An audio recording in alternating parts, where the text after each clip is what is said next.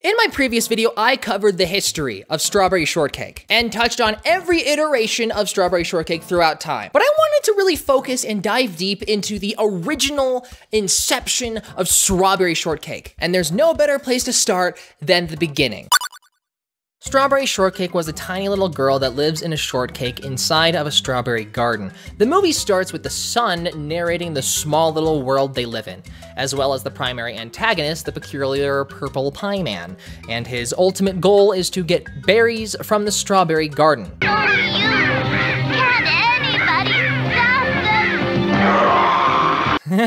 you don't need a scarecrow when you have a terrifying tree that growls like a bear. I mean, Gosh, that would kind of freak me out if I was watching this as a kid. I want those. Wait, uh, yeah. Why don't they give him some? They have a whole garden full of them. Is is Strawberry Shortcake actually hoarding resources to control the strawberry market in order to maintain economic control and monopolize the berry industry? Or, or, maybe the pie man is just a jerk, I don't know. In other news, we got Huckleberry Pie based off Huckleberry Finn, who seems to be very lackadaisical and lethargic. And you got Blueberry, of course, and Plum Pudding, who used to be a boy before they changed it down the line, and Raspberry Torte and the baby apple dumpling, which this is kind of like the only time you'll see the apple dumpling. She writes me notes only I understand. It says. It's Strawberry's birthday, and they're doing the classic trope of having to avoid her in order to prepare a surprise party and end up hurting her feelings in the end, which like, I don't understand why anyone would do this. Just say happy birthday. Don't traumatize her for Pete's sake. So the purple pie man, wait, they're the same size? I thought the pie man would be a normal sized human. He would need literally a single strawberry to make a pie. So the pie man is trying to come up with a way to give her a watering can that never runs out of water. Turns out never-ending water can be a little problem. Just ask the people on the East Coast during hurricane season. Never-ending water ain't all that much fun. So now everyone is getting flooded, which wouldn't that kill the strawberries? I don't think the pie man thought this through. What do you want from us anyway? Every last berry in Strawberry Land. Oh, so he wants to hoard all the resources to control the strawberry market in order to maintain economic control and monopolize the strawberry industry. He really is a villain. And then they just give him the strawberries. Like, did he promise he'd fix the water? Oh, oh gosh, I guess he did. And then the sun grants a wish because apparently he can do that, I guess. And so he just summons up all the big, mean, scary trees in order to fight the Pie Man. Strawberry tattled to her older brother and got him to beat up her bully, uh, and they destroy his home, and they force him to sign a surrender contract. Thus ends the shortest berry war in history. We'll be friends with you. After all I tried to do to you? Well, of course. I mean, you're now contractually obligated to be a good guy, so now you gotta be a good guy with the other good guys unless you want to fight this in court. But given that you got no more berries, I doubt you could afford it. There's a good side to everyone. Oh? What's good about me? You're good at losing! Get bit, punk! And thus Ents Strawberry's first adventure, filled with property damage, warfare, and legal court proceedings. Very child friendly. J.R.R. Tolkien got the idea for the ends from Strawberry Shortcake. True story, just believe me, don't look it up. Mailman, your snail mail is here. In her second adventure, Strawberry wins a contest in Big Apple City and needs to go all the way to the city to compete in a televised bake-off event. We're already expanding the world. Gosh, I appreciate the world building. And apparently the Pie Man got his house rebuilt and he's also going to compete in the bake-off. But everything is okay, he's a good guy now. Right? Turns out you can relapse when you're evil. Happens all the time. Turns out you need rehab and not legal ramifications in order to truly reform. But it's fine. The butterfly eats an imaginary ice cream, and so they break out. Okay, sure. I'm not gonna ask questions. She gets kicked out of a hotel and starts having a mental breakdown, as you do. She decides to sleep on a bench in the park when she meets Orange Blossom. Oh, so orange isn't from the berry garden. I guess that's why she's not named after a dessert. Them city folk are all named after flowers, all trendy and such. It's no surprise they become fast friends. The Pie Man made it impossible for them to go to Orange's house, but don't worry, the racially insensitive gopher comes to help. So he digs them an underground tunnel to Orange's place. So Orange was an artist, Lemon Meringue is a narcissistic model. Goodness, the origins of these characters really differed from what we know of them today. What we don't get to see is much is tea and honey, an English stereotype. Charlie, ho! Pip pip and all that. Oh, pip pip cheerio, mum's the word, Bob's your uncle, apples and pears, teas and crumpets, governor. Can't you tell I'm British? Time for the bake off, and we have Coco Nutwood hosting the show. I get the pun, but I can't help but thinking, Nutwood? hasn't aged well. I guess coconut milk has a different meaning for him. Someone's been tampering with my ingredients. Instead of milk, I've got chalk water. I feel like this is more the showrunner's fault than anything else. How did all that get through the production team? Oh, wait, there's only one person running the whole show. Okay, never mind. You are growing sleepy. Very sleepy. Oh, yeah, sure. The Pie Man has magic hypnotizing powers that he only decided to use now, and this is the only time you will see him use. What was I thinking? so he just hypnotizes the host into having the Pie Man win, which, if, if he could have done that the entire time, why did he even bother trying to prevent Strawberry Shortcake from showing up to the competition? Anyway, they complain enough for the host to try the food and change his mind so that now Strawberry wins. Happy ending. I also want to see a list of all the weird powers that the Pie Man somehow has. And all the new friends she made in the big city decide to go home out to the country with her in Strawberry Land. If anything, all I'm happy about with Big Apple City is that now I know why Orange Blossom isn't named after a dessert. Wait, lemon meringue is still a dessert. Actually, all of them are still kind of a dessert. And she's, and they're from the city too. Okay, well, that doesn't answer anything, actually. Now I'm just more confused. They do the smart thing and decide to focus a little bit on their pets because cute little kittens and puppies help sell toys. If I could get a plush of custard, I'd pay big money for that. Or really any of the animals from this show, they're all adorable. So there's a pet show, and the Pie Man is just going to kidnap everyone's pets so that only his crow is entered and wins by default. And we get to meet Sour Grapes, the hot mama that's an old partner of Pie Man. And she's back. Don't know why or where she went. She's just here. Don't ask questions. This is also the introduction of Angel Cake. She just moved to Strawberry Land because apparently everyone wants to move there now, and she doesn't have a pet. And she's very sad that she's so lonely. Boo hoo hoo. I'm on a diet. Then how come you're eating candy?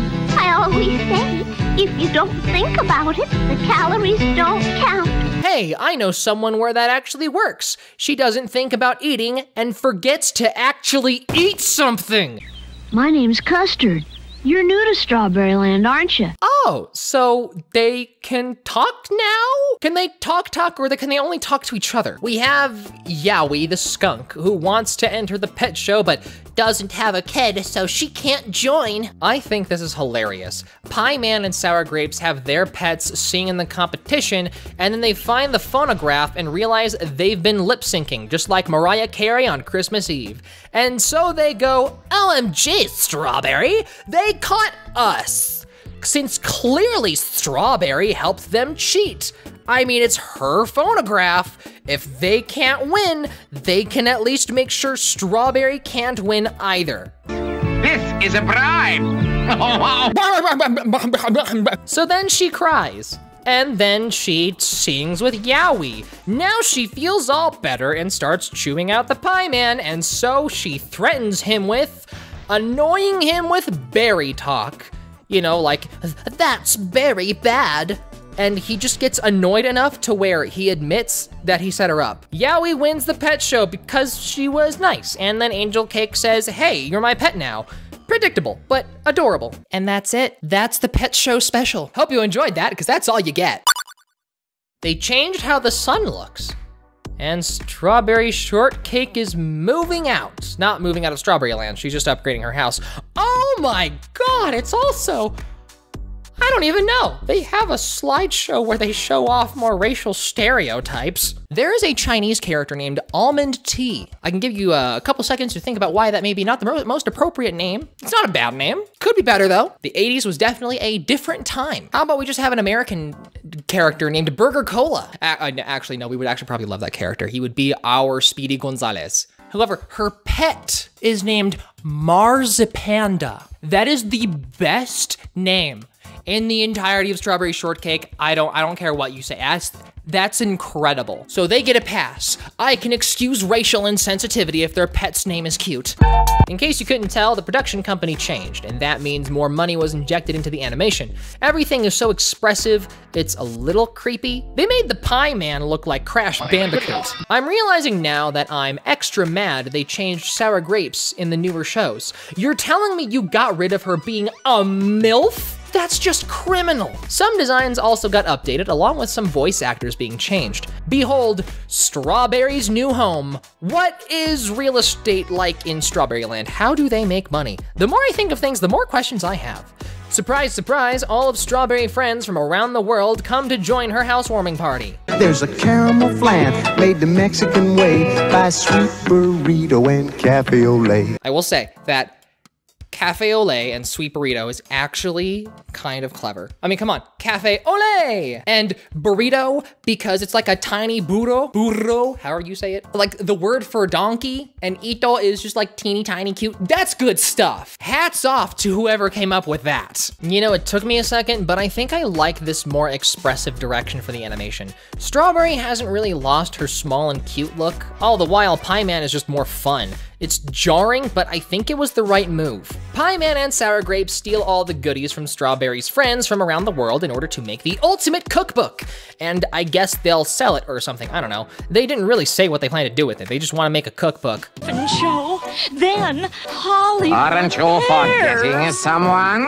I could never forget my purple partner in crime. Pet Snake Dregs. Strawberry teaches Pie Man's crows to do berry talk in a song, and they just repeat it over and over again, and once again, the Pie Man gets so annoyed he gives up and returns the goodies. I mean, You'd think they'd figure out to just put earplugs in them, but the goodies get stuck on a bunch of bottles. They work together to get it back. Everything is okay again. Back to partying, the end. All in all, that wasn't bad. A little cute episode teaching kids to be more accepting of different cultures. It wasn't done well, but whatever. we got better at it eventually. The Pie Man being foiled by berry talk is stupid though. Apparently the Pie Man is freaking out over some monster. Plum Pudding comes back from her hormone replacement therapy and is now a girl. Good for her. Also, there's Peach Blush and the baby without a name. Hmm. The character that transed their gender is really good at math. 10 bucks says they also program. Now all we need is for her to either play Magic the Gathering or Warhammer. Okay, quick tangent. I had a teacher. She wore a trans flag button. Some kids over off in the distance were talking about transgender people, and my teacher taught us that there are always exceptions in biology and that it doesn't always follow hard and fast, strict rules. And all of that went over my head until one day I was in lab talking about music to my, you know, lab mates, and I was talking about the band Korn. And when I mentioned Korn, her head popped up and said, Blood for the Blood God? Oh, no, no, no, no, no, no, not, no, I'm talking about the band, not the character from Warhammer. Wait a minute! They all go camping, the baby sneaks off, and they wake up to her missing, find and find a giant footprint. So the monster must have eaten her. Oh, wait, this is a kid's show. The monster must have kidnapped her. That should keep the show appropriate for kids. The baby gets stuck in a hole and meets a hippo? What is that? Oh, oh, is that the monster? They find her, and she introduces them to Big Boot, the last potential pet and the Pie Man traps him and steals him away to put him in a circus. In order to get him back, everyone animates a tree to create an even more horrifying monster. I don't know why you had to do that when the sun can summon an army of Ents, but sure, whatever. anything other than berry talk. But I still don't have a name. I'm sure that someone somewhere has just the right name for you. Are you kidding me? Where is her parents? Why is this hard? Just throw out names and pick one. She needs any name, even if it's just a nickname. You're not even going to resolve the big overarching problem? What am I, a joke to you? You know what's a joke? This episode. Screw you. Garbage, zero out of 10, certified rotten on Rotten Tomatoes. At the end of the day, the lesson is that we are truly the monsters. Human greed and our pursuit of that greed is what turns us blind. And we can't stop ourselves from worsening the lives of innocents. Just like Sour Grapes and the Pie Man kidnapping an innocent child to pursue their own personal gain. Or maybe the lesson is to name your children, dang it! The last of the 80s animated specials, Strawberry and her friends are having a garden party because what else do you do when you live in a garden? Wow, Banana Twirl, another another new character. At least this one has a name. Oh, I'm the berry princess, and I'm looking for my berrykins. What? Yeah, so there's a berry princess now, and apparently these are berrykins, which are somehow different from regular babies, I guess. I kind of appreciate how the CGI animated one made the berrykins into little berry creatures. For no other reason than just because these just, they look like berries whose mom dressed them up for a photo shoot. They look like babies that are just dressed up. Pie Man and Sour Grapes are polluting the air with a bad perfume where they literally combine all the food they can think of into one cauldron. Now everything smells like burgers and pizza. Oh no, how terrible. I, I don't get it. I mean, that's not bad smell. It's not great, but this is very tame. The crow kidnaps literal children. Or wait, do, do they count as children? How do berrykins age? They could be 30 years old for all I know. Who is this? You got yourself a smoking hot MILF that lives with you 24 7, and you go after the girl who's less than half your age. Typical! The princess uses his stupid horniness to convince him to stop polluting the air. You pathetic purple pea brain. I think you meant to say pervert. They use the berrykins to make their perfume actually, you know, you know, perfumey.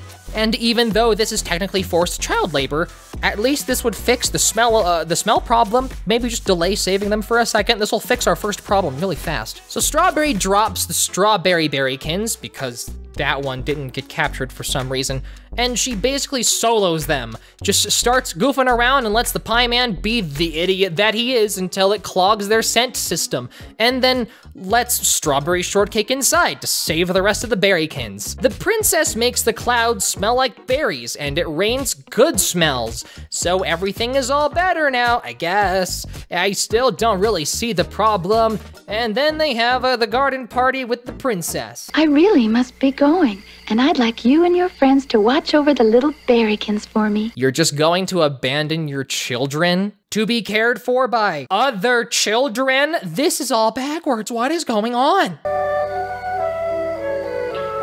What? Uh, uh, oh.